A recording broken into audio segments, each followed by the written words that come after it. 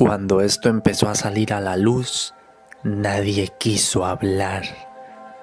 Muchos se escondieron, otros se asustaron. Y lo más impresionante, cuando se le preguntó al Papa Francisco sobre esto, no quiso dar ninguna explicación.